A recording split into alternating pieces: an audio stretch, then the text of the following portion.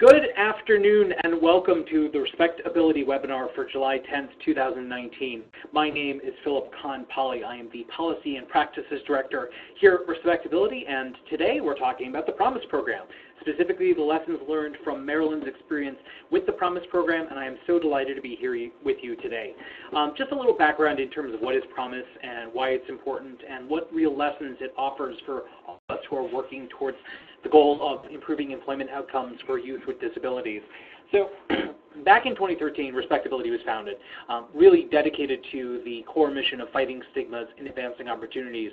Uh, and as part of that, one of the key things that I do as the Policy and Practices Director is really looking at promising practices and public policies that are intended to support power and support, empower, and really train youth to succeed, to you know present competitive workforce strategies to help people really make the use of uh, limited resources, and that is really what the Promise program is all about. So the Promise program was a grant program that came out of the Department of Education several years ago. Um, it was distributed to several different states, and Jade's going to talk about her experiences you know, running the Promise grant in Maryland and what, it, uh, what lessons it has to offer for all other programs that are serving uh, low-income youth, youth with disabilities, youth that have serious barriers to employment.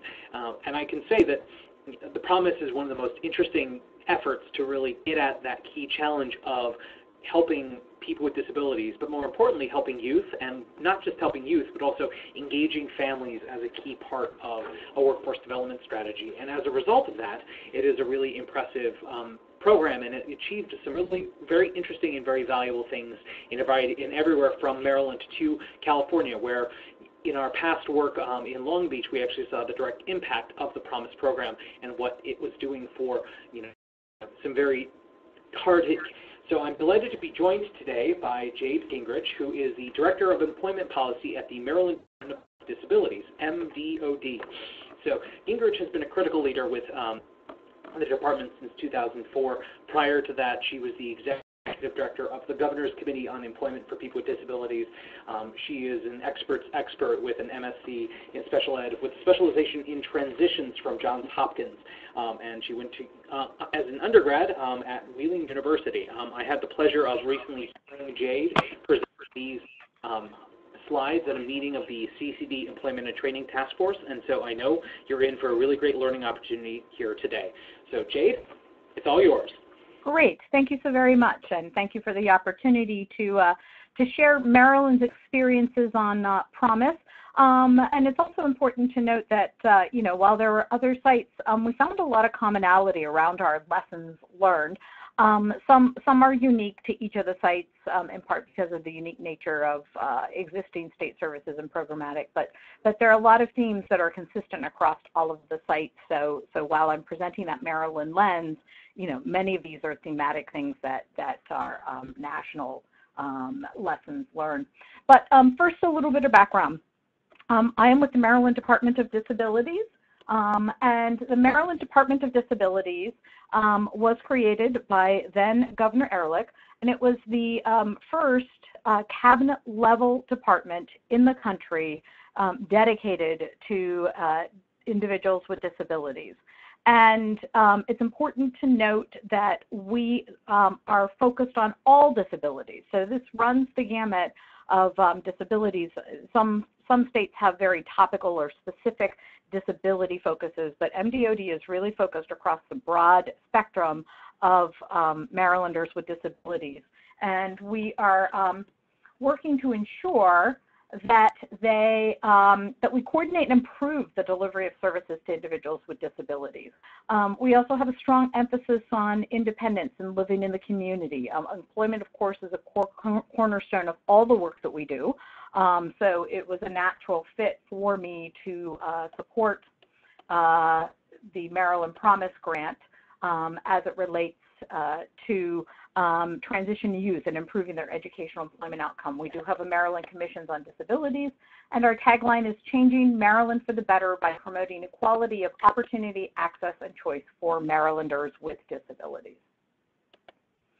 So uh, some of our broader uh, employment activities under the uh, umbrella of the Department of Disabilities, we collaborate particularly with um, our uh, state level Department of Labor, our Developmental Disabilities Administration, our um, Division of Rehabilitation Services, our State Department of Education, our Behavioral Health Administration, as well as others as it relates to employment efforts because there's a broad array of uh, programming and it's actually scattered across a, a, wide array of different departments. And so one of the things that we do is to work to try and build um, that interagency coordination and collaboration among those partners.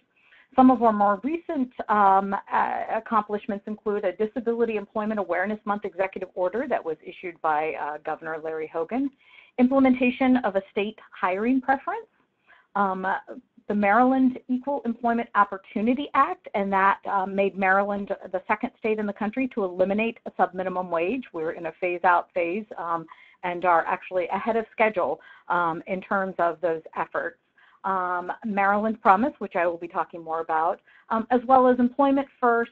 Um, we have a uh, technical assistance grant through uh, the National Technical uh, Transition Assistance Center, um, and that is helping us uh, particularly around interagency coordination and collaboration as it relates to transition.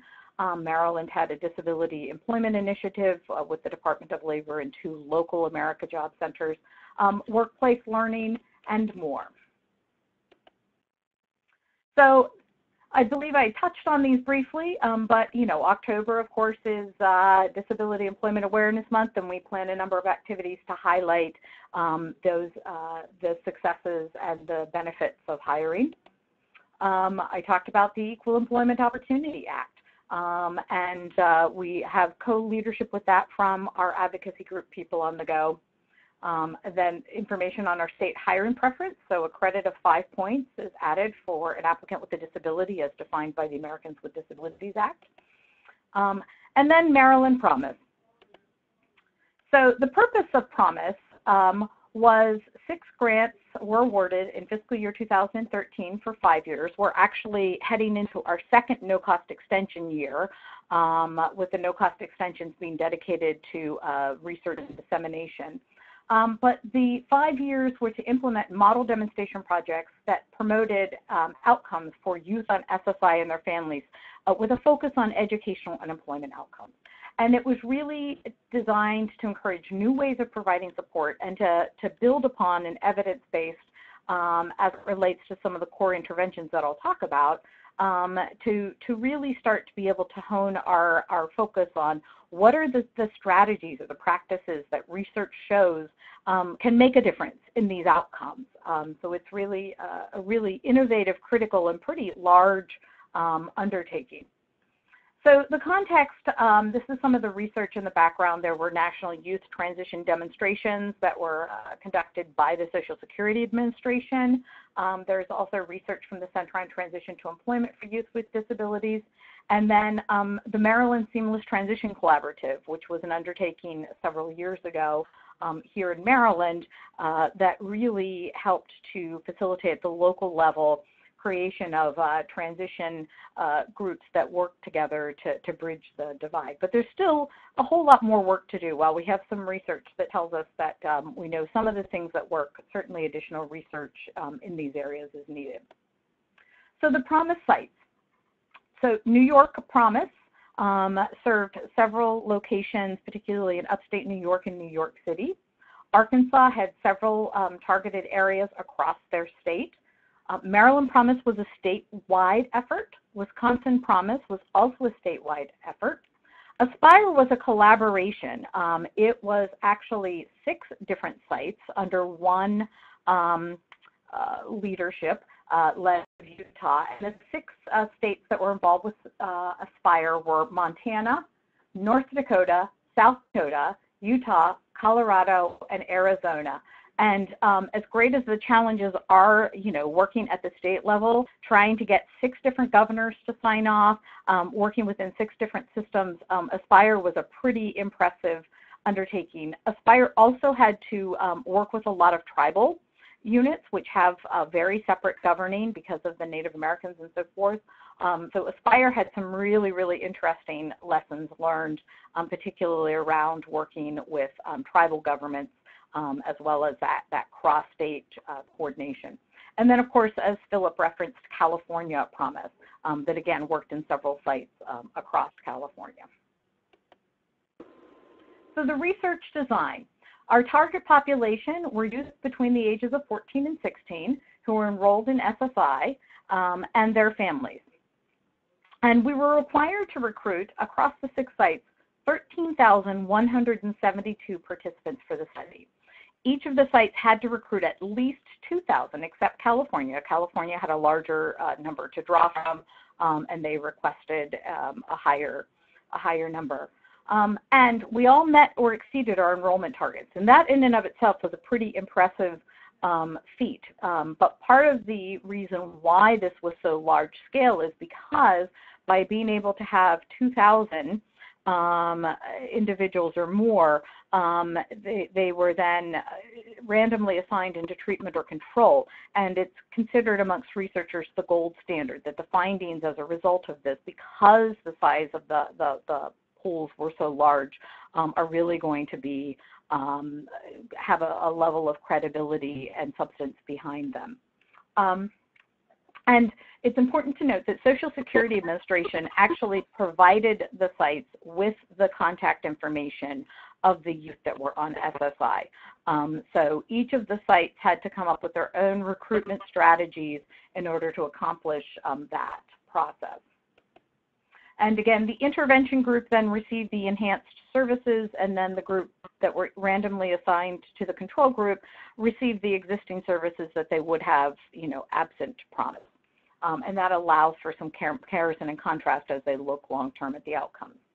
So this was a, a cross partner initiative at the federal level, um, which also I think was a learning experience um, because I think that the federal partners had not um, previously collaborated on something to this degree. Um, but the Promise partners were the U.S. Department of Education, um, and they were the funders. Um, but the funds came from a number of other partners as well, including Health and Human Services and the U.S. Department of Labor. Um, and then the Social Security Administration is paying for the cost for a national longitudinal evaluation. And Mathematica is the vendor who um, has received that award from, uh, from the Social Security Administration. And we anticipate any day now, although we have not seen it yet, um, that the 18 month um, evaluation um, assessment from Mathematica will be released, um, which will certainly have um, some robust details in terms of experiences, lessons learned, certainly not going to be getting at sort of the longitudinal impact um, and so forth because that was again only 18 months into the process and that included the time that was spent um, recruiting of individuals and, and getting started on this. Um, and then there was also a TA center that was awarded to the National, I'm sorry, to the Association of University Centers on Disabilities. So those were all of the key partners on promise. So the core features, um, while each of the sites designed um, slightly different models, each of them had to have uh, consistent core features.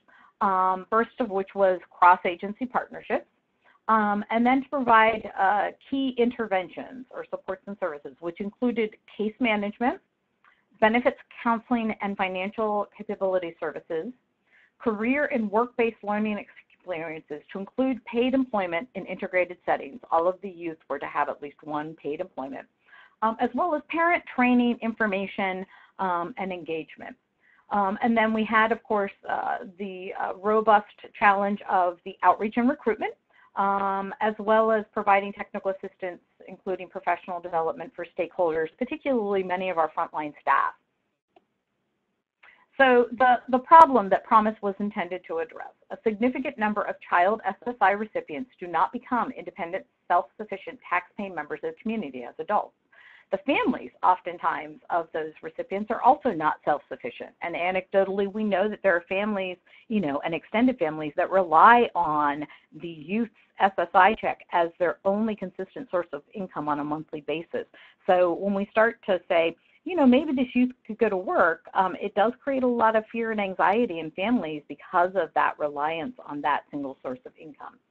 Um, and then also the issue that many of the uh, child SSI recipients become adult SSI recipients, and that is due in part to their low educational attainment and employment rates, um, as well as their low post-secondary vocational rehabilitation or other um, enrollment rates. So that linkage to services after they exit school um, was really a key um, factor in, in this process as well. So Maryland promises intervention.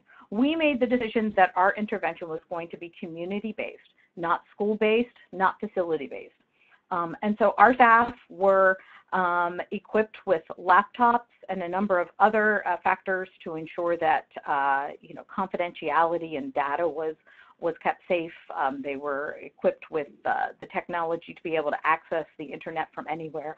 Um, and they also were set the task of mapping, mapping places in the community, libraries, McDonald's, um, where they could meet with and engage with families and youth. Um, and this was really a key piece. We had a few um, facility-based locations, mainly for staff meetings, um, but um, really the intent was to be meeting families and youth in the communities where they live. And that was a really key piece of the strategy around engagement because being willing to show up in some of these neighborhoods um, and being a presence, um, I think really helped um, A, with that assertive community engagement, um, so we weren't waiting for them to come to us. We were proactively going out and finding them. Um, but also, it, it, it, helped demonstrate the level of commitment um, that we that we had to serving these families and youth, and to really understanding their communities and the and the barriers that they face within them. Um, also, making the case for work um, you know, helping them to understand how work was possible, what supports and services were uh, available, and the value of work. That in fact, you know, while they may perceive that financially they'd be worse off as a result of work, that in fact financially they could be better off. Um, and uh, and helping with that, particularly that financial education piece of helping to make different choices with funding and so forth, um, was a real appeal to many of our families um, who are struggling.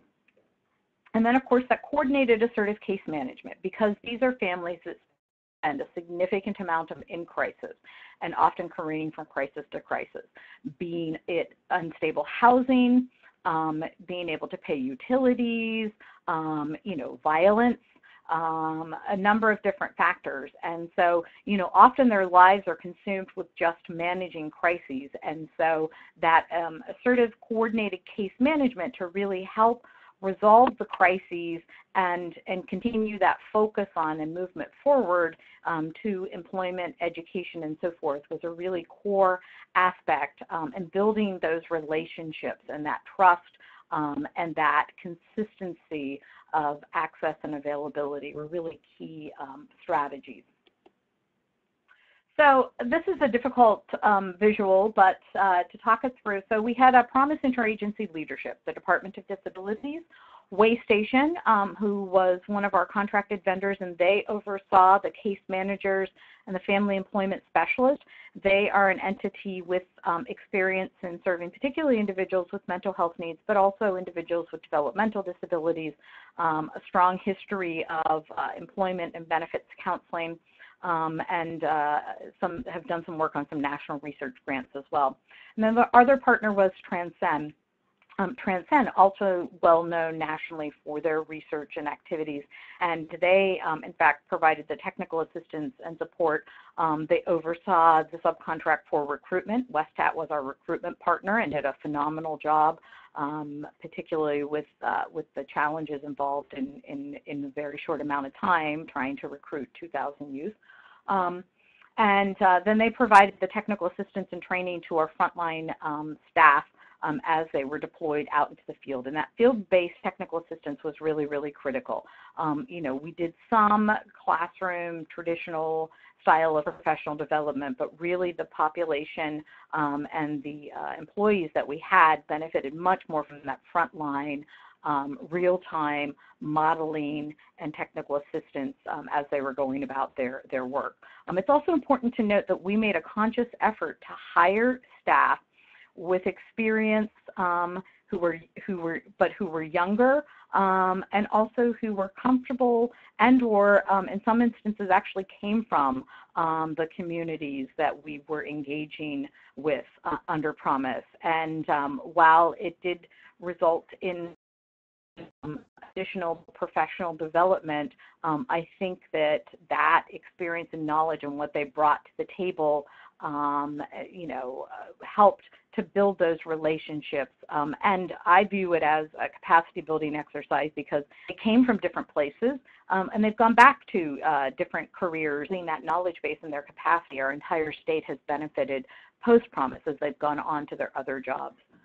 So our intervention teams were composed of the lead case manager and the family employment specialist. The benefits counselor then was pulled in as, um, as needed or um, as interest or employment dictated. And then we interfaced with the school personnel, but we chose a, a different route. Um, we actually um, built our model around the engagement of schools being driven um, by the consent from parents um, for the staff to interact with the school personnel. Um, and I have to say that that actually helped us to really navigate some initial resistance from local schools um, who had fears and concerns um, about the model and the fact that, that we weren't asking them for data we were, you know, not requiring that they provide us access, but rather we were coming with the consent um, to to engage with them, um, alleviated a lot of that stress and really helped to facilitate and, and build and empower those relationships. And in Maryland, um, our schools became very great partners as a result of, of that. Um, and then um, the intervention component. So we had an intake process um, with the planning process, um, development of a family plan, trying to identify some low-hanging fruit. What are one or two key issues that the family was concerned about, that the youth was interested in or concerned about, so that we could really help to, to get um, an initial positive or result early on in the process. Um, those family and youth plans were living, breathing documents, constantly evolved and changed over time um, as steps and pieces were um, completed and as the needs changed. Um, but they were really um, a cornerstone of sort of starting that inherent uh, relationship building and engagement. Um, then the positive personal profile. and it's really important to note that this the, the, term, you know, positive or, or asset or strengths-based um, was really important because I think that, that there's a lot of messaging that these youth receive um, that's about deficit um, or weakness. Um, and so really stopping to, to reflect on and to capture in writing some of their strengths and their interests and so forth um, really uh, was a positive activity um, that again help them to perhaps begin to see themselves in a different light and one which then can be translated into um, employment. So based on those strengths, based on those interests, um, that helped to inform that job development plan. Um, and then include, include elements of uh, unpaid work experiences that aligned with their interests or, or strengths, um, as well as then uh, the creation of um, the unpaid work experiences and paid work. Um, and then there was the coordination of services, and we really used a model of, you know, focused on linkage to existing services, um, and then we did have some resources available if, in fact, uh, the, the needs were not able to be met through other uh, support services and systems. Um, so we've also been able to define, at least here in Maryland, some gaps um, in terms of funding and availability.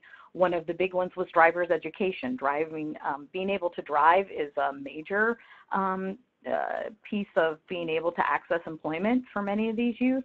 Um, but the cost uh, and the requirements in Maryland, the cost of driver's education could prove a barrier, and there were no existing um, potential pools of resources to fund that. And so we were able to, to fund that. Um, so that was an important piece. Also being able to acquire IDs. Um, identification is becoming more and more um, a, a, requirement for um, applying for any type of job. Um, and oftentimes these youth um, and family members didn't have them. They had been lost through moves because they're a very transient population.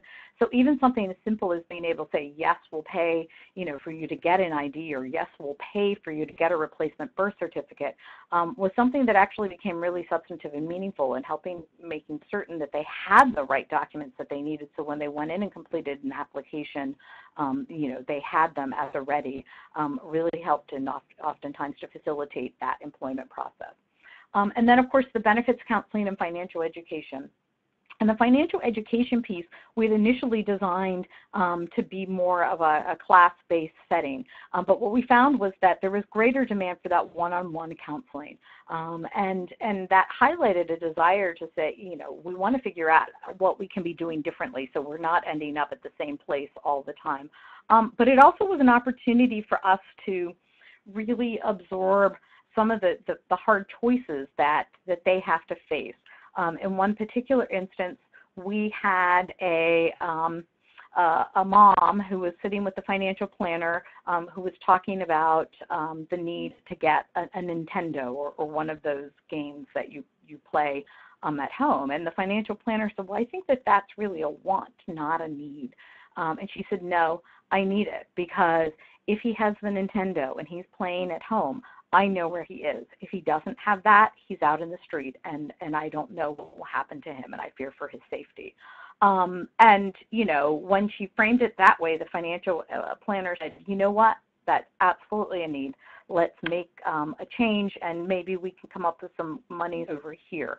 Um, but I think that it also highlights that we have a tremendous amount in the disability community to learn um, to really be able to meaningfully engage um, and to understand and to then in turn be able to support effectively individuals who are living in poverty with disabilities.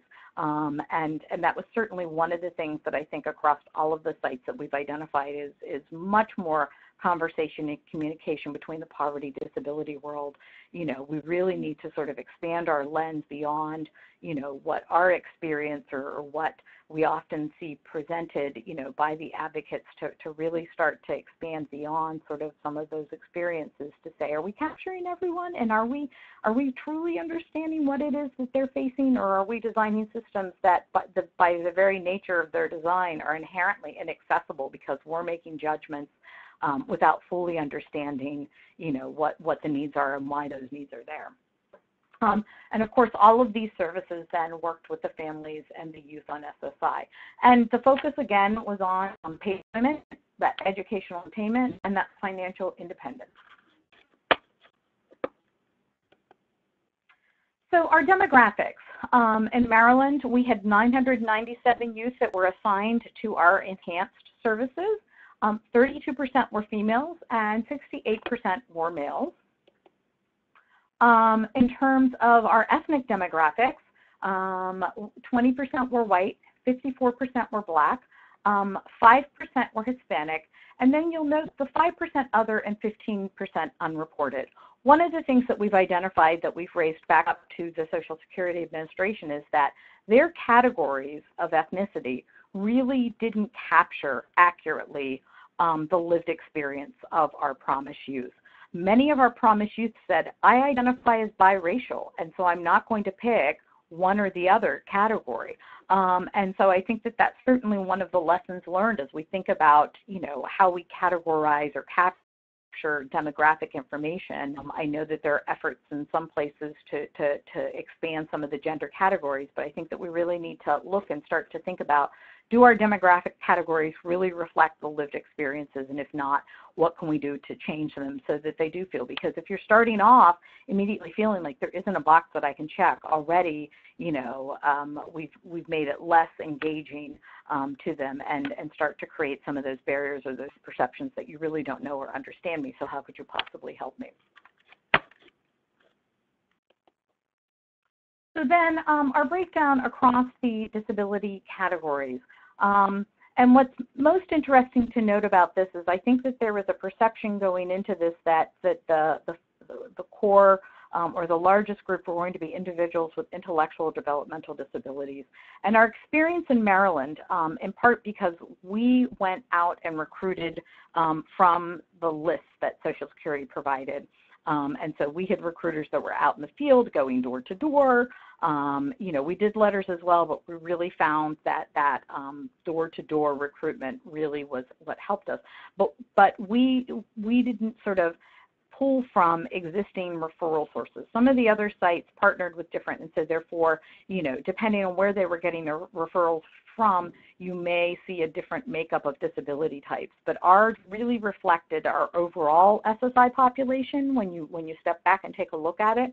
Um, it really highlighted that there are a number of youth with non-obvious disabilities um, on SSI. Um, and that presents challenges in and of itself um, because in some instances family members would say, well, don't tell them that they have a disability because they don't know.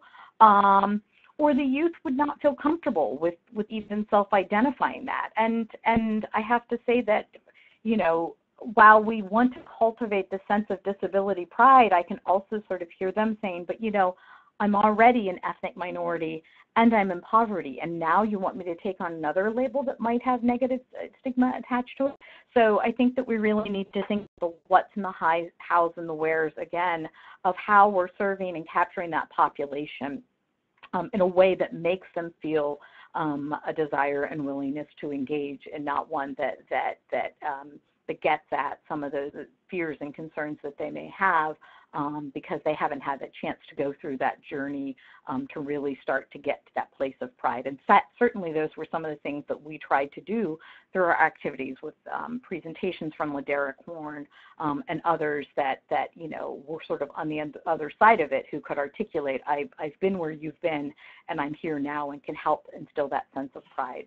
Um, I think it was also important to note, you know, when LeDerick was presenting at one point in time and talking about his academic challenges, um, not only were the students sort of nodding along because his, his experience resonated with them, the parents um, in the audience were nodding. Um, and it was an aha moment for me to realize that, you know, we're, we push parents to show up for the IEP meetings, and yet they may not have had a positive experience at school, and so their main reaction to uh, you know, request to come and participate in an IEP maybe I don't want to come have you tell me that my kid is stupid while you're making me feel stupid as opposed to seeing it as an opportunity to to have a positive impact and to engage positively. And so it's a really reinforcement of a reminder of you know how can we make these things not be perceived as a negative but but seen as something that's a positive and that's that's an opportunity to support you know, and to help to unleash the potential um, around some of these different pieces. Um, to also recognize that it's it's not always the youth um, in isolation, and that we need to ensure that our systems and our processes um, accommodate, you know, family members who may have English as a second language um, or may have low reading skill levels um, and so forth. And our staff spent a lot of time supporting families in completing these cumbersome um, um, application processes um, that you know were, were a challenge for family members um, to complete on their own without support. Um, so those were just some of the, the experiences that uh, that uh, resonated at least with me as I turned my attention to systems change at the state level um, and also lifting up lessons learned at the federal level. Um, so again, our demographics, um, we had a really good breakdown, 55% um, urban, 45% rural. Um, what's important to note about this is we actually got higher engagement throughout the course of the program from the rural areas as opposed to the urban areas. Now the urban areas have higher populations of youth on SSI, and so when we had you know, divvied up our staff, we had anticipated that we were going to need more staff in the urban areas versus the rural areas. Um, but part of the reaction from the rural areas was this sense of, of relief um, that finally there was a support and service that was meeting them where they are. And I had, you know, reaction initially from some of my partners saying, well, you know, what's the point of engaging in this promise? You know, it's only going to be for those folks. In, in Maryland, we uh, we have the Bay Bridge, and it's sort of perceived as that sort of which side of the bridge you're on, and that side of the bridge, if you're on the eastern shore, gets everything, and they get nothing. And so when I said no, you know, our staff are going to be deployed across the state, and we're meeting the families and youth in the communities they're going to be a part of. They're going to be hired from your community. They're going to be out there. Um, the the level of engagement from that that rural population was much higher, um, and and I think it was in part because they finally were able to access services that you know as a result of a variety of factors they had not able been able to. Um, and in the urban areas, I think sometimes there's so much competition. There's so many services, and they have their choice. Um, you know that that they can play a little harder to get. But it was really interesting to note um, the differences between urban and, and rural. Um, and I think it's also an important thing to keep in mind as we think about designing programs, um, you know, and the differences in the areas. And, and, maybe we need to look at some different ways of programming for rural um, that, that, again, isn't that facility based, but is that community based, meeting families where they are, both literally and figuratively.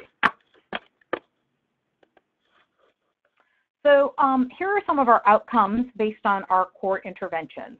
Um, 94% of our 997 um, youth um, engaged in that coordinated case management and creation of a, a family plan. Um, and again, this is a population that can be historically very hard to engage, very hard to serve. So we're, we're very proud and, and a lot of time and energy and blood and tears went into, went into that, but our staff were incredibly dedicated and persistent. Um, and we developed some strategies around that engagement piece of it. We actually created supplemental um, case managers, um, and their focus was on reaching out to and engaging those youth and family members um, dropped off the radar screen. Because if you're juggling sort of a, a caseload and you've got a bunch of uh, families and youth that are like, yes, I'll take anything you get, give me more, give me more, it becomes difficult then to say, oh, well, I'm, you know, I'm, I'm going to focus my attention on these people that aren't returning my phone calls versus those who are. Um, and so by having a supplemental case manager and when we were identifying folks that sort of were dropped off the radar screen, they were the ones, and we actually hired some of our uh, recruitment staff, um, they were the ones going out knocking on doors, and that really helped with that re-engagement process. There was also a tendency early on in the process for staff to say, nah, they said that they're not interested, so can we just close them? And I said, no. You know, I, I think it's really important to frame it as, you know, respect that you don't see that there's anything that we have to offer now, but things can change. So I'm going to check back in a couple of months. Um, and by using that strategy of sort of checking back in every couple of months, we found families that you know, and youth that weren't engaged who suddenly became engaged. And we had one family that, you know, we, we used that strategy for about five years. And, you know, three months before we're ending services, they finally decide to get engaged. And they're like, oh, why didn't I, you know, engage, you know, four and a half years sooner? Um, so, so I think that that's another lesson learned about sort of, you know, needs change. And so we have to think about this in the longer term and, and continually reach out to say, we're still here if you need us. Um, and I think that the fact that we did continue to reach out also established our credibility, that we weren't some fly-by-night entity and that we really were interested. We weren't going to give up on them like uh, so many of the others had. So that was a really key strategy. Then, of course, that positive personal profile I talked about, 87% of the youth completed that. Um, and I think that it's really exciting to think that 87% uh, of that 997 youth across the state um, now have a document and we're forced to think about and articulate um, their strengths and what skills and so forth um, they have to offer in a workplace. Um, that's a really transformative experience that, that I, I believe that they will carry with them going forward. 87% had an individual job development plan. Um, again, those were activities that they engaged in um, to explore careers and interest areas. Um, 81% had work experiences. Uh, those were unpaid, um, you know, completing applications, job shadowing, mentoring. Um, we have a, a, a data dictionary that lists, you know, what the definitions were for each of those things. But those were sort of the unpaid sort of career exploration activities. 73% engaged in paid work. And I think it's really important to note that these were individualized uh, jobs. Um, they were integrated.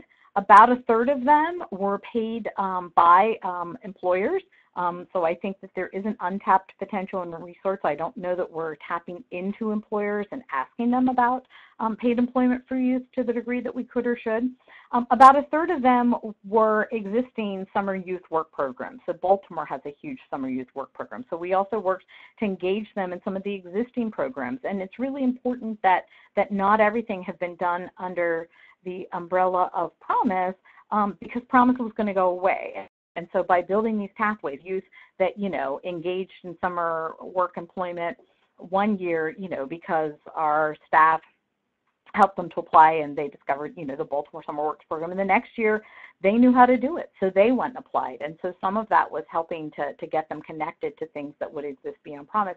And then about a third were individuals, um, which we anticipated, individuals with more significant disabilities um, that were paid um, by promise, but that again were individualized um, work experiences um, to help. And a lot of those translated into actually paid employment um, uh, when the uh, promise funding ended. Um, and so that helped to translate and get that exposure and opportunity. Um, and so those were all um, the, the different pieces that we used to create those different paid work. But again, all based on the individual's interest and needs, um, using a very customized approach and identifying, you know, from the employer perspective what their needs were and doing a job match.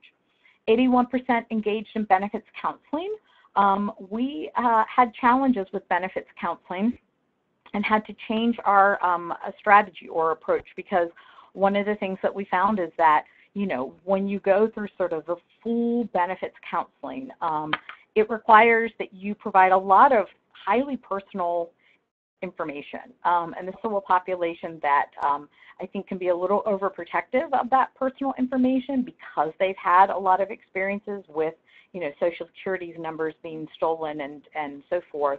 Um, so it really took a lot longer to sort of build those relationships to the point that they would feel comfortable offering up that information. Um, so what we started to do then instead um, was to have individuals go out and, and proactively call and just have some conversations and provide some, some benefits, awareness, and information via conversations. Oftentimes by having those conversations, sort of building that relationship on the front end, then it resulted in that comfort level being raised to the point that they would be more comfortable providing that information. Um, but, you know, that's, that's certainly a lessons learned um, and then the financial education piece, and part of why this number is lower is because, as I said, we started off with um, group-based trainings, and that really was not um, not uh, meeting the family's needs. And so, uh, partway through the the process, we added in this one-on-one financial counseling. Um, had had we done the one-on-one financial counseling from the outset, that number probably would have been much higher. But we still feel very good about these um, outcomes, again, with a population that can often be difficult to engage and to sustain engagement across each of these because, you know, the, oftentimes we found that it also wasn't a linear experience, that we couldn't come in and say, oh, you have to do this before you can do this. You know, if paid work was what the youth was interested in, then we started with the paid work and then circled back around on sort of the unpaid work experiences that may be aligned with their interests as a result of their paid work experience or, or just personal interest. Um, you know, but but we did not approach um, this from a linear perspective. It was really sort of what can we get them engaged and interested in now and get that ball rolling and then circle back around on these other pieces. So um, the key features I think I have uh, talked about uh, ad nauseum, so I will continue on. So um, our state partners, um, the State Department of Education, um, our Department of Human Services, our Department of Juvenile Services, our Department of Labor Licensing and Regulation, our Developmental Disabilities Administration, our Behavioral Health Administration, and our Medicaid were all of the um, state partners um, that participated uh, throughout Promise. Um, and then our local partners. And I think that these local partnerships were really critical. And, and we had a point um, where we pulled them all together in a room um, and um, gave them the opportunity. We sort of created a framework. We had one county that had developed a really innovative tool um, that helped facilitate um, dialogue session around the youth um, DORS and the schools. And what we found was that sometimes we were aware of youth that the schools or um, DORS was not aware of because DORS, uh, you know, if you're on SSI, that doesn't necessarily mean that the schools know who you are. The only people who know are Social Security and then whoever, um, whether a social services office that helped them apply and get onto SSI.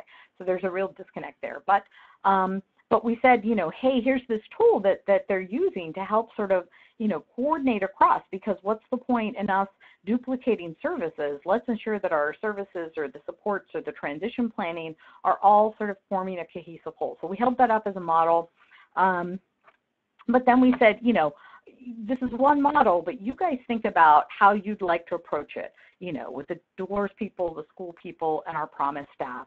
Um, and it was interesting by sort of creating a construct of here's some models and here are some expectations, but we're going to let you decide what's going to work in your local area. We got far more partnership engagement, even though everyone was slightly different, than I think we would have if we'd attempted to dictate it. And that certainly is a lesson learned when we're thinking about collaboration and so forth is sort of you know the fact that, that each locale is different um, and some of them had different structures that they could build off of. Some of them needed to create new structures and so forth. Um, but the end result was to the benefit of everyone and we're using this as a model for a number of other interagency coordination and collaboration activities um, at the local level as a lesson learned. Um, our uh, disability determination and support service offices, um, the America's Job Centers, and then other community services and resources. And again, um, when our staff started, because we were in the recruitment at the same time we were bringing on staff, um, you know, if they didn't have a caseload yet, one of the things that they were charged with were identifying resources in the community. Um, one of our lessons learned is, in fact, in the poverty world, um, through the social service offices, um, one of our regions you know, um, has staff that have worked there for many years and and are just now starting to sort of think about their disability lens, and they're discovering resources, and they prided themselves on knowing everything that was available in their community, and they're discovering disability-specific resources that they were not aware of. Um, and so again, it really highlights that need for more engagement and partnership between the poverty and disability community because I think the perception is always oh, the disability community is over there and, and so we're going to send over there. But a variety of reasons these families and youth don't make it over there. So we need to figure out how to infuse, you know, what we know and, and what can support where they are. Um, and I, I know across all of the sites, meeting families and youth where they are was a consistent theme across all of the aspects of promise and, and part of what made it successful. Um, we have to stop expecting that people will come to us or that if we refer them on that they will make it there. We have to proactively go out and engage them and find them and, and serve them where they are.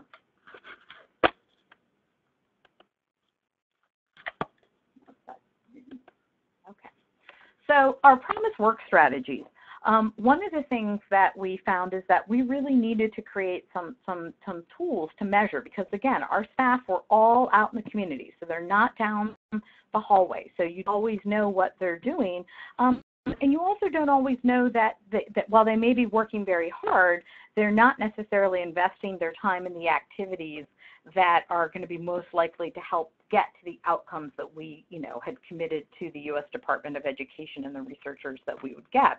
Um, so we really found a need to start to develop some tools. Um, and it really helped to direct their activities. It also helped balance and to not get consumed by, by the crises. They, not that they didn't continue to meet the crises, but they didn't lose sight of the balance of, of you know, the longer term outcomes that we were trying to achieve. And, and we also tried to help make the link, but if you're if you're focused on some of these longer term pieces like work, then that's going to minimize some of these other crises. Um, so for our employment specialists, um, we set some numeric targets. Um, and one of them was 10 employer contacts per, per week. Um, particularly early on when they didn't have um, a huge caseload or the caseload um, you, during the school year, the, the, the students were not as available to work, you know, um, building those employer contacts and that relationship and having a pool to draw from was really critical. So we had to create those targets. And some of these lessons learned are, I think, things that could be applied as we talk about changes to home and community-based waivers um, and that community and employment first and so forth, um, and as we're, we're thinking about moving away from shelter workshops um, and having staff and certain individuals out in the community, um, I think performance measure outcomes targets are going to be, um, you know, and a, and a, data management system um, that's tracking all of this is going to be really key to, to not losing sight of the outcomes um, and uh, the desires um, that are being driven by the youth um, or, or, the individuals with disabilities and, needs as it relates to work. Um, and then monitoring of the job development activities. Again, that technical assistance to the support staffing use and that modeling in the field space. Um, because it was a research grant, um, we really needed to focus on fidelity. We needed to ensure that the intervention was being delivered equitably, uh, qualitatively, um, consistently across across the site. So all of the youth were getting similar experiences. Um, but it, it makes me wonder, even though this you know was a research grant, that fidelity piece is important. Why isn't fidelity important, you know, in any of our service delivery? You know, we talk about the safety and the quality assurance pieces and so forth, you know, maybe we need to start to think about what are the, some, some of the pieces or components, you know, that we know are likely to, to get us to the desired outcome of, you know, paid work in the community and so forth and start to be building those in. And again, to ensure that consistency of delivery of service and quality um, you know, for the individuals across, you know, across the state or across an organization. Um, that partnership with school and the DORS personnel that I talked about, that was a really key piece. Um, as well as these tools, the, the asset-based youth profile, which we call the positive personal uh, profile and job uh, development plan. So um, our successes, um, so drilling down a little bit more on the paid and unpaid work experiences because Maryland really, really focused on that employment piece. Um, all of the other interventions were important, but you know, work um, was really, you know, um, the thing that that we were constantly having to push our staff to focus on. Um, so at least one um, work experience, paid or unpaid, 82% um, achieved that, and 81% had at least one unpaid work experience. And our goal was that, you know, youth would have at least one unpaid and one paid work experience. What we found was that in some instances we were able to go back and to have multiple unpaid work experiences and multiple paid experiences. Um, and oftentimes with the Promise funded experiences, we'd say, you know, Promise will pay for one. Um, the next one, you know, needs to be employer paid or needs to be an existing youth. And we had, you know, um, and we saw growth as a result of that and that those experiences sort of built on, on one another. Um, so um, that was important. Um, and 42%, so almost half had more than one unpaid work experience. Um, 73% had at least one paid work experience. 72% had at least one unpaid and one paid. Um, and uh, 71% had more than one paid work experience, um, which I think is really critical. And uh, one of our frontline staff told a story about um, how um, the youth that she was serving um, had had a very positive paid experience um, uh, that was promise paid and uh, wanted to go back to work at, at the place that they had had that experience. And she said, well, you know, you know what the process is, so you can go get an application now and you can complete it. And he got really mad at her. Um, but she held firm um, and he completed the application and got the job and you know and and she said look i wasn't trying to be mean but i also wanted to help you to be. And he felt so good about the fact that he did it even though he was mad at her like the fact that she forced him to and he did it by himself and he got it by himself. And i think that that's an experience that really resonates and that that's that how do we provide that support and then start to, to scale back and, and to help them to believe in their own abilities because that's what they're going to carry forward. If all we've done is create a dependency and we're going to go away um, you know, that's ultimately not going to be changing the outcome for them. And, and that's a, a, perfect example. Um, and I will say, as, as a staff person, that was a hard thing to do. Um, so she felt really good when, when the outcome was such a positive one and she saw the impact and the benefit because her first instinct would have been like, sure, I'll help you. Um, you know, but, but she saw the fact that, that by stepping back, they, they really could step up and do it on their own. And that's exciting. Okay. So um, benefits counseling, you know, um, really having youth learn early, often, that they're always better off working. Um, and this was really critical because many of these youth um, have to undergo an SSI redetermination at age 18. And many of them are not going to be found eligible um, based on the adult criteria. Um, and that becomes a real game changer. And, and I'm not certain that the population really understands the difference between adult SSI and youth SSI um, because in their world it's just SSI. um, you know, and that, you know, and so I think that that age 18 redetermination sometimes uh, catch, catches them off guard. Um, but it also is an opportunity um, if they're eligible for VR services um, and they they engage in and have a, a, plan for employment. And I don't know how this is going to change as a result of, of pre-employment transition services, but um, you know, if at age 18 they have an IPE, then they can be eligible for something called Section 301. And Section 301 allows individuals to continue to receive that monthly benefit while they're actively engaged in that plan for employment. Um, and and I would like to see some modifications and changes and, and expansion of that, um, particularly um, given some of the capacity issues uh, as a result with, within vocational rehabilitation um, that have been changing. Um, you know, but that, um, you know, maybe America's job centers and so forth could be places that that opportunity could be made available as well. Um, because I think uh, being able to continue to have that check come in while they get that very few kids at age 18 are really ready to be able to access an, a, a, job that's going to pay a living wage. But I think that incentive being able to retain that check while they're engaged in, in post-school training and employment is, is certainly something worthy of further um, discussion and consideration. Um, and then um, SSI keeps these families trapped in poverty. Um, you know so so but they don't always understand that. And so communicating to them that it's okay if you participate in your iep it's okay if you go to DORS. It's okay to engage in pre-employment transition services because that's going to have no bearing on your um, eligibility determination at age 18 um, for you know for adults um, and so we want to make certain that they understand the importance importance and value of access services um, and doing that at that exploration based on what's available. Um, and you know also to help them to understand that benefits will not automatically be lost um, when they begin working that there are a number of different work incentives and things that can be put in place because i think the perception is oh if i go to work immediately everything stops and i'm on my own and and that's not the case but we need to figure out ways to message that in a way that really resonates with with this population so the challenges. Um, so, you know, it's easy to say, you know, oh, here are all the great things that we've done, but there were a number of challenges throughout this and learning experiences. Um, and so we had um, a number of uh, challenges that I wanted to highlight um, to share sort of what our, our strategies or changes were.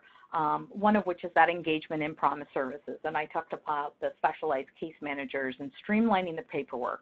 Um, we, you know, our intake process um, because Waystation had an intake process, we had the family plan, and we really needed to figure out how on the front end we could minimize the amount of paperwork and how we could capture this information in a in a way and, and move to progress or engagement around you know the family plan activities because that became a real barrier. Um, so we really had to, to take a look at all of the paperwork that we were using for that intake process and figure out how to minimize it or how to be strategic. You know, if we're capturing the same information in three different places, how can we just capture it one time and have it have it be translated across all of the different documents and so forth. So I think that those are some important pieces. You know, do our application processes or starting points have to be 10 pages long or could we start with two pages and then build on them? Because again, they should be living, breathing documents that evolve and change over time. Um, that linkages to adult services. Um, this is certainly one significant area um, that that has emerged. Um, I think that the, the perception of what schools are required to do and or can do um, as it relates to transition and connectivity to um, adult um, services and is very different from the reality. so schools um, schools are required under IDEA as part of the transition plan to provide information. Um, so they can sit in a meeting with family members and say, you know, here's information on DORS. Um, they um, they can't share that information with um, the adult service agencies without consent. Um, and that's certainly one of the pieces that we're continuing to work on here in Maryland is how do you make the case and help parents to understand the value of giving that consent. Um, so that consent piece is the first thing. Um, and then, you know, they're required to provide information, but they don't have the staffing or the resources, nor are they required to help people complete those applications. And that certainly was a role that our Promise staff played um, and, and, is an existing gap for folks that need that assistance. Now, there are some school personnel who will go above and beyond and do that, but that's, that's not a requirement, that's not an expectation, um, and oftentimes, you know, depending on their leadership or administration, you know, they may not be allowed to, to do that, or they're, they're doing it on the side in their spare time. Um, but that's certainly something that I think is important enough that from a systemic perspective, we need to figure out and ensure that there's funds and resources available for someone to be able to do that, that, that piece of it um, in a dedicated way. Um, and then, you know, when you have that, how does that information get conveyed? So I think I talked previously about um, this paper tool that um, Carroll County developed. Um, and uh, we it, it, works so well that we are um, exploring in Maryland um, and actually have, have, developed a pilot of creating an online tool. Um, and right now it's just being piloted with two local schools and um, and the Division of Rehabilitation Services. Um, but it's a place where the schools can upload the consent. Um, so right up front, everyone knows that they have consent to sharing information. Um, you know, and then the information is in there um, around sort of what pre-employment services they're getting from from DORS. So it, it, it allows us to pull from the uh, DORS aware database to populate that, which helps inform the schools because the schools oftentimes don't even know when a youth is engaged with DORS. Um, and then it also helps, you know, in terms of that anticipated services. So now that youth, you know, because that consent is there is known, um, two DORS. Um, we hope to expand it to our developmental disabilities, um, to our America's Job Centers, um, because that's a, a, key referral source. Um, and to help build that out as a means of, of having some of that connectivity. Um, it's not going to replace that, that local coordination collaboration, um, but our school reaction with the pilot is, you know, yes, ultimately this, this means of information is going to be really helpful um, in, in really improving the quality of not only the transition services, but from the school's perspective, um, capturing indicator 14, one year out from school, where are those youth and so forth. Um, so we're very excited about it. Still is, it still is in its early infancies, but, um, but the uh, initial pilot um, efforts have been really positive, and one school site has done a fantastic job of getting consent from all of the, um, the parents, and uh, we're looking to develop um, a fact sheet about that because that consent piece really makes or breaks what schools can and can't share um, with adult service partners, and that becomes a real gap as part of that transition process. If all they can do is provide information and they have no way of knowing did the family follow up, um, were they found eligible? If I referred them to DORS, so they put on a wait list, so maybe I need to circle back around and get them connected to the America's Job Centers. Um, so we're very excited about that, um, that as a potential tool. Um, that staff capacity regarding employment services. Again, our staff came from a wide array of backgrounds. Some came from education, some had, you know, um, social work backgrounds, some came from corrections, um, juvenile justice, um, education across the gamut. Um, and so we really needed to, to build consistent capacity um, across all of them. And so that intensive field-based technical assistance and training, and to also to help them to understand all of the different partners that are out there. Um, you know, I think so much of our disability services and our functions are, are, you know, I work with this population and I understand this funding stream. Uh, and we really had to create individuals that understood and could work across a wide array of the different partners and to know when, you know, they needed to be connected to mental health services and that was to the core service provider, you know, versus, you know, developmental disability administration or any of the other um, different uh, funders and resources that were out there. And then that community oversight and supervision again, we had to build performance management tools and data reports that really helped us to keep apprised of what was happening on the front line, when were barriers being encountered, because sometimes, you know, staff would hit a barrier and they wouldn't know what to do and, and it wasn't always being lifted up. And so, you know, the data started to tell us, wow, you know, you, you seem to be spinning your wheels here. Can we hear and talk through? Um, and, you know, and, and come up with some strategy and being able to identify and lift up you know, when they were stuck um, and pull in, you know, leadership and others to help problem solve um, really helped keep that forward momentum going and really helped to ensure that we're getting the outcomes and the numbers um, in, a, in a quality way, um, but that we were on track to meet what we had committed to, um, to having happen under this. see.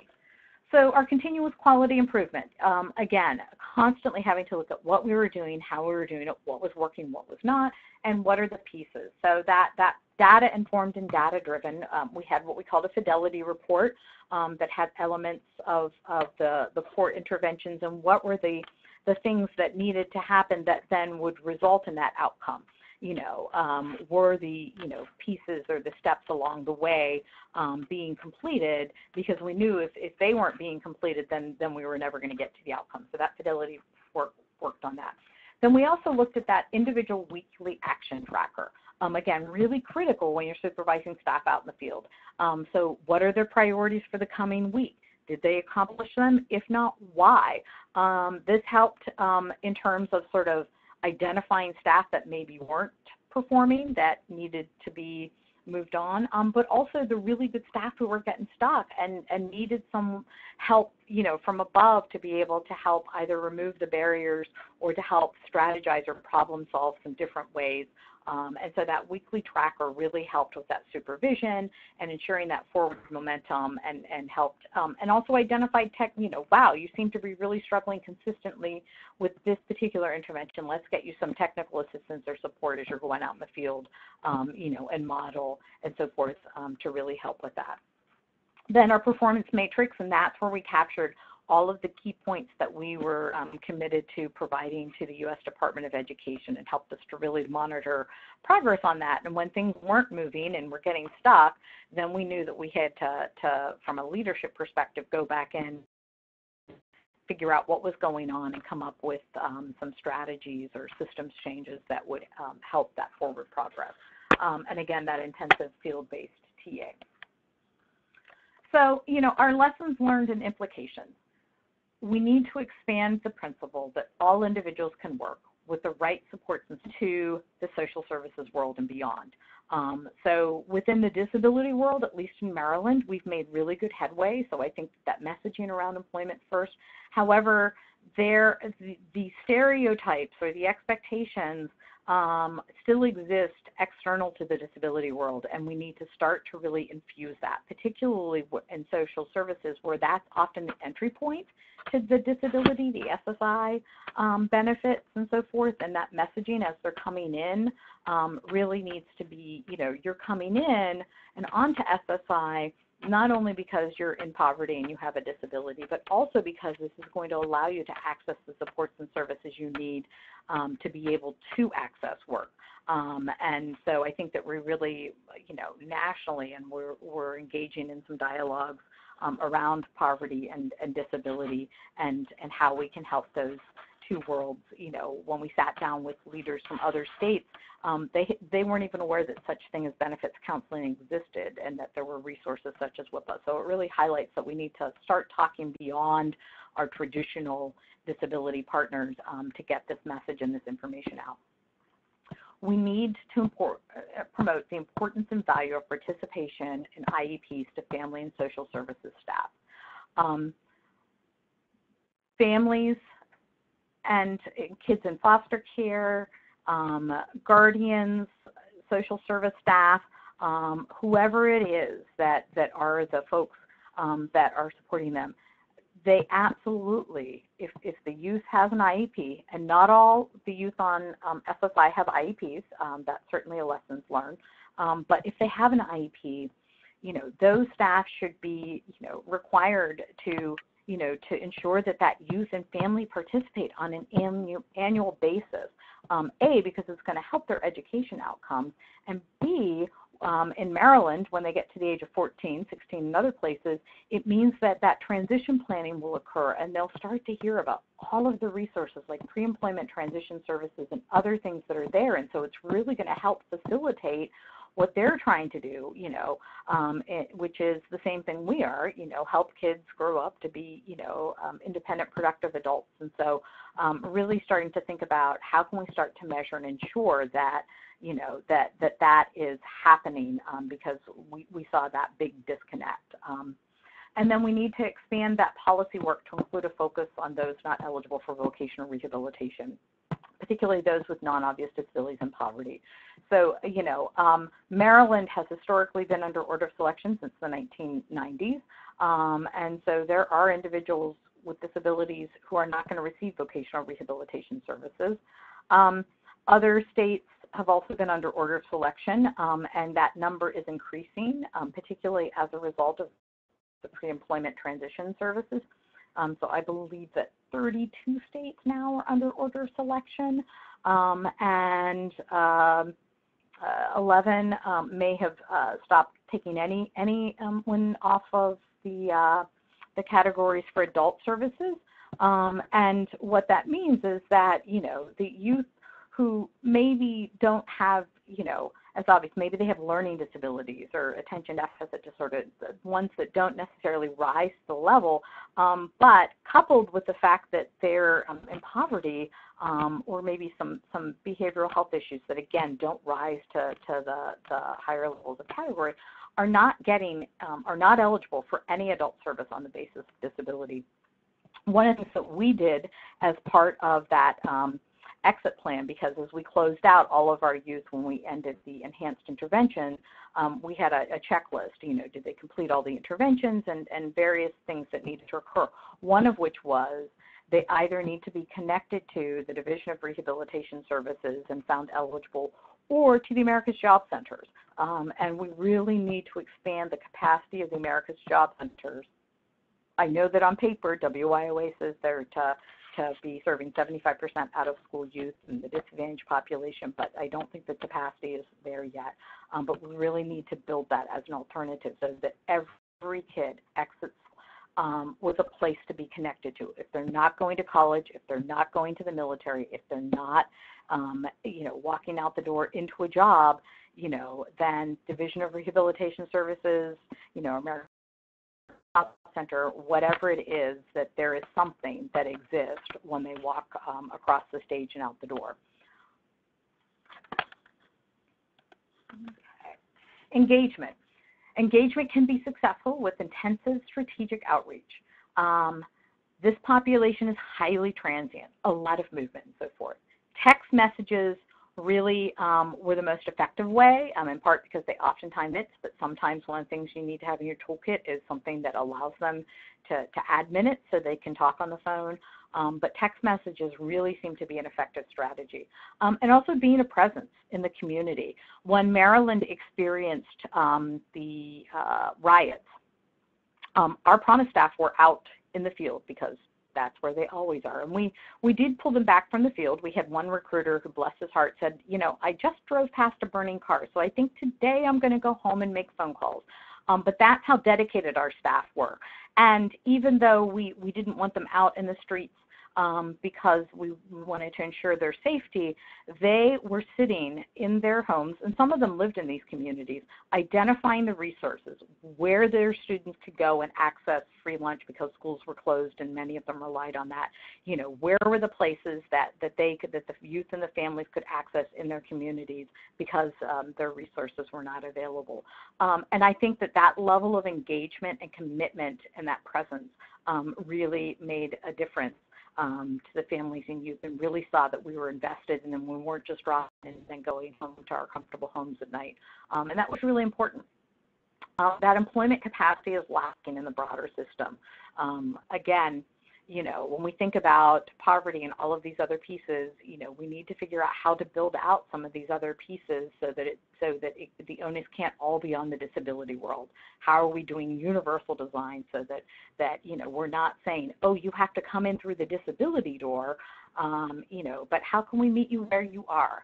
Um, and how can we infuse some of the lessons learned, like customized employment? I mean, we the disability community has developed fantastic practices that, that, that would serve anyone with a barrier to employment, English as a second language, you know, um, any of these things. And, and I think that we need to do a better job of pushing these models out as strategies um, that just become part of the, the broader fabric of our um, employment and workforce development systems. Um, our staff wages don't align with the skills needed.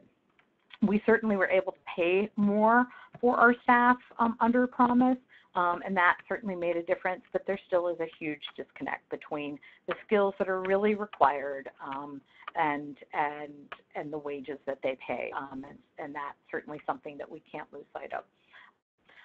Another important lesson learned, um, and this is something that I think is being experienced nationally as we look across um, the broad framework, is the um, is the fact that um, that serving youth is different from adults. And so, you know, we can't just turn around and have been serving adults and expect that we can just say, okay, well, we'll just start doing this to youth. Um, they require different things to be engaged, what they're looking for, their desires, and so forth, and we really need to be mindful of and start to develop different strategies. I know that um, there's a benefits counseling um, curriculum that uh, California is piloting for um, for youth, um, and we really need to be mindful of the fact that youth and adults have different needs, different interests, and and to be designing programs and services, particularly under PREA, um, that that focus on those. I think I've touched on some of these. Um, knowledge of trauma-informed care and motivational interviewing are critical. Um, those were skills that had to be, be poverty, being in poverty um, is, is, is a trauma in and of itself. Um, and so that motivational interviewing, trauma-informed care were all aspects that across all of the Promise sites were skills that our frontline staff needed. Um, so I would certainly encourage you, if you're working with this population or, or any similar population, if you haven't, to look at developing that skill in your frontline workforce. Um, and again, these, many of these youth with non-obvious disabilities, with or without IEPs, are unwilling to self-identify as having a disability. But I'm not certain that we should make you know, eligibility for services or being able to meet their needs predicated on that that willingness to to identify um, what can we build into where they are or where they're comfortable going that help put them on this path. Um, systems changing. Um, all community-based, how to supervise staff in the field, what gets measured gets done. We have a series of webinars through the University of Maryland that talk about these different things. So um, I think on the final screen there is a connection where you can find that information. The post-schools connection, um, I talked about uh, this MSDE University of Maryland tracker, tracker that is being developed, and we certainly, as, as we build and expand upon that, we'll be um, sharing that um, more broadly. We're, we're still in its infancy here in the state, but we're very excited about that. Um, I've talked about what we're doing um, in Allegany County, um, which is aligning promise um, with 2Gen. 2Gen is a poverty-based strategy that's multiple, um, that's hitting families and youth, um, and the correlation is almost uncanny. so we're working to try and align that so that maybe some of these promise activities and, and lessons learned can be informed the 2Gen work that's going forward. Um, Parents Place. We've also partnered with Parents Place because our parent training center was really not at a place that they could meet the needs of our families and youth. Um, and so one of the things that we've been doing is some systems changing and capacity building with them. Um, so that they can start to engage in outreach with um, families in poverty, um, and particularly youth with non-obvious disabilities, um, and, and how we can make the information that we provide less academic, less overwhelming to families. Um, and so our Parents Place has been a really great partner in this, um, and so, um, so we're really excited about some of the things that, that they're changing about how they approach it to, to, to ensure that they're serving a broader array of family needs across the state. Um, and then our gaps. We need increased access and availability of work incentives and how to refine it to better meet the needs of the population. Um, I've touched on a couple of these other things. We need much more financial education and ABLE. We actually linked um, a lot of our youth, and a, number of our promise sites did, to ABLE accounts. Um, and so marketing ABLE, um, particularly to this population, I think is a really key piece. We need increased assertive community services and staff in the field. Um, I talked a little bit about the funding gaps and was one of the other ones that was a huge, huge piece that, that Promise had to fund because that, that's an ongoing issue. Um, and I've talked about consent. And so there's where you can go for more information, um, how to contact me, and also um, where you can go to the University of Maryland Center um, that has a number of these webinars as well as um, research briefs and, and, other resources. And then our mdtransitions.org um, was our promised website that we are transitioning into um, a transition youth website to meet the needs of all um, youth and uh, parents in Maryland. Um, so there's a number of resources and information there that may be of interest. So thank you all for your time and attention. Wow, okay. that was, as I promised, a very thorough, very comprehensive look at the Promise program. And um, I know I have a million questions. I know we have a couple of, uh, we have at least one question in the chat box, so I want to defer to our wonderful audience members first. Um, but before we do that, um, operator, can you quickly explain how somebody can ask a question, either by phone or by the chat box? Thank you, Philip. Yes, of course. Um, if um, hi everyone, if you are dialed in and have questions, you can press seven pound. Again, that's seven pound on your touchtone phone. Open the line according to the order received. Please wait for the prompt saying your line has been unmuted and ask your question. You may also send your question using the Q&A window located on the lower left side of the presentation screen. All you have to do is just type your question and then press uh, ask with your mouse to submit. Questions submitted are private and can only be seen by moderators. Thank you. Gotcha. Um, so the first two questions, um, so one, um, one's for me, one's for you, Jade. So I'll go with the Jade question first. It was uh, Lynn Nibblelink, I hope I said that right, was talking about um, kudos to Maryland for reducing the paperwork, especially across the partner agencies. And so that's you know one quick you know I'm going to turn that into a quick question to say is you know you talked about some reluctance from the school districts to get involved with the program from the very beginning. So what do you think really kind of was the biggest motivation to get all the partners together in the room um, to make this pro, pro make this program a success? Well, so we had a lot of support from our State Department of Special Education, and so communicating that down to the local. Um, and I also think that oftentimes what happens is, you know, there's a whole lot of people between sort of the top and the bottom. Um, and the folks that were at the bottom absolutely were like, oh my gosh, yes, like we want you to be able to help you know the promise youth because you know we could we could pay for summer school. We could do things that that help support outcomes. And sometimes the folks in the middle are sort of you know worried about the legalese and so forth. And, and we certainly accounted for all of that. But the fact that we didn't have to go through 26 different school agents you know um, local education authorities um, for consent um, but instead the fact that we were at the table because parents had given us consent to be at the table, I think um, really helped minimize the, the concern and stress of what their liability was. We were coming to the table with, with a written document that had that consent um, that, that allowed for that. And the frontline staff, you know, were like, great, you know, because all we were doing was showing up to be able to help and support what they were they were doing. Um, you know, so so it was it was not it they became they began to see the value of it because you know it wasn't a huge investment in on in time on their end and they saw the benefits um, you know and so forth um, so so that that I think really made the difference. Got it. Um, and then Helen Drody had a question for me. Um, uh, is you know will the slides be available? Um, and so what we always, what RespectAbility always does with our webinars is we always post a video and audio recording of um, the webinars that we presented on our website. So just Google RespectAbility Webinars. Um, and Jade, you shared the slides with me. Is it okay if I send them out to everybody who registered to attend today? Absolutely. Wonderful.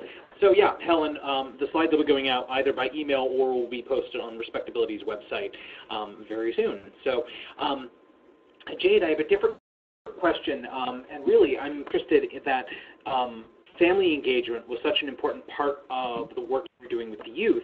Um, and I'm really curious, you know, how do you see that evolving as um, kind of informing the practices of, say, voc rehab or um, workforce programs moving forward?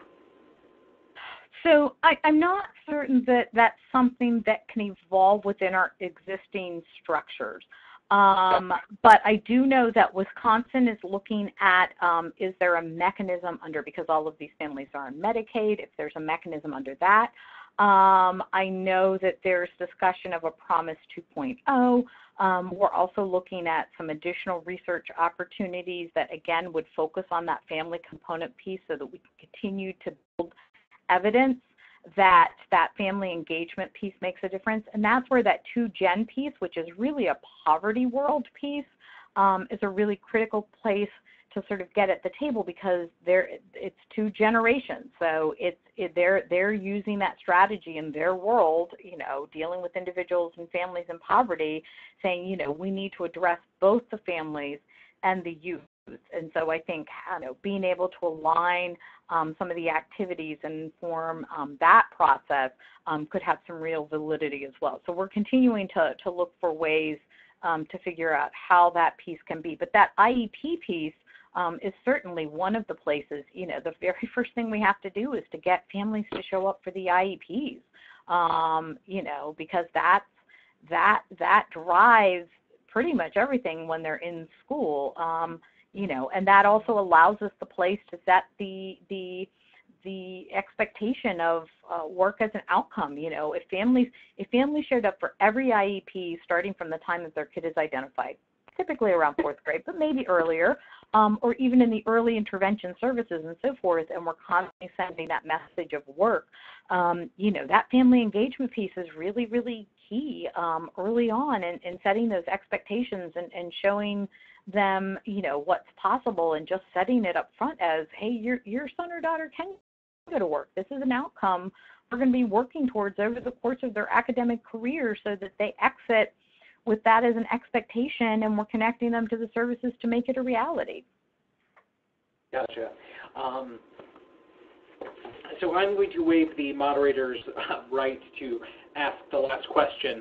so um, I'm really curious. Um, you mentioned HCBS, and that's not um, obviously you know working in disability over the last few years. I'm familiar with you know HCBS generally, but I'm curious to see you know where do you see um, that fitting in into HCBS, the HCBS role, the services and supports that are provided through those streams, interfacing with kind of the goal to get more and more youth with disabilities into workforce? Well, so the the home and community-based waivers are, um, you know, fund basically the long-term supports for for individuals.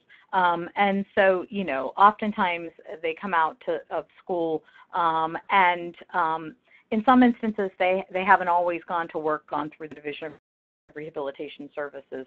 Um, you know, there's been a lot of work around employment first and really making that sort of more of a, uh, you know, um, coming out and into a community-based setting versus a facility-based setting, that individualized, meaningful day, um, you know, that moving away from that congregate setting. And, and to me, employment is the greatest way to achieve um, inclusion and integration because you know the bulk of their peers are working um, in the community um, without disabilities.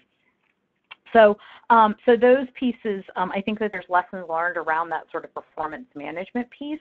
Um, but all of this, I think, is is coalescing. It's interesting to see. I think that the feds, um, if you start to look across, you know, WIOA and those changes, the home and community-based waiver changes, um, there's starting to be more consistency. Doesn't completely align, but they're making progress um, around the sort of value of competitive integrated work um, spending your time in integrated settings, you know, that family engagement piece, particularly when you talk about individuals in, in home and community-based waivers, you know, the number one thing that we heard loud and clear when we first started, started discussing employment first was families saying, you know, but but how will my son or daughter work? And a lot of fear and concern. And we actually developed under a separate um, grant a, a, a, video called Why Not Work? And it was parents who had gone through that sort of trajectory of the fears and the issues and concerns um, and who were able to articulate what those fears and concerns were and why they're glad that they overcame them and what the outcome was and the benefit of their son or daughter working or being in the community and that dignity of risk. And I think that that you know all of these expectations, fears. You know, I think if you're if you're a parent, um, it doesn't matter the degree of severity of of disability and whether or not they're going to be eligible for long-term support. Your fears and concerns are, are for the safety, um, you know, and, and what are you risking and, and will they be taken care of for the rest of their lives and so forth. And so I think that there's real consistency when you look across sort of federal policy, the arrows that that we're moving in, um, and you know, regardless of disability, that that are things that we need to think about and address. You know, how do we create this message that everyone understands, everyone can work with the right supports and services? Got it. Perfect. Well, and with that um, very clear and very positive note, um, we're going to wrap up today's webinar. I would very quickly like to let folks know about our next scheduled webinar, which is on Wednesday, July 31st at 1.30 p.m. Eastern. Um, and so that's actually just going to be a webinar presented by some of RespectAbility staff. And so we're really going to be talking about um, some of our key ideas uh, around you know, how to link efforts to fight stigmas, advance opportunities, and support young leaders with disabilities to succeed. Um, so we recently gave a, a, very important presentation to a um, federal interagency working group around disability employment. And so we've repurposed that PowerPoint deck to really talk about, well, here's kind of those core strategies that RespectAbility uses to you know, support and empower working age Americans with disabilities across the country. And really this upcoming webinar on Wednesday, July 31st at 1.30 p.m. Eastern is going to be a chance for us to say, all right, well, here's how you can take our ideas and put them to practice um, at your local level in your community. And I think it's going to be a great chance to get some new conversation going on how to do all this critically important work. So um, thank you very much, Jade. Thank you much, Luke, our operator. Um, that's it for today's webinar. I appreciate your time, your attention, and your interest. Um, digital copies of the slides and the recording will be available soon. Once again, very much, and have a fabulous day.